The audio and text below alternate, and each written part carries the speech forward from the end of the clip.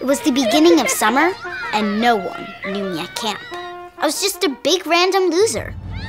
Then things changed. I got my period. The red badge of courage. I was the first one to get it, so I was like the expert. I became the camp gyno. I'm a queen bee, come get it. No tripping. I got everything you need. I'm a queen. It's a serious responsibility. From now on, you get these from me.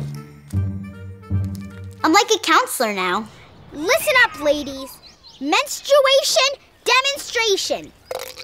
For these campers, I was their Joan of Arc. Your sword, your shield.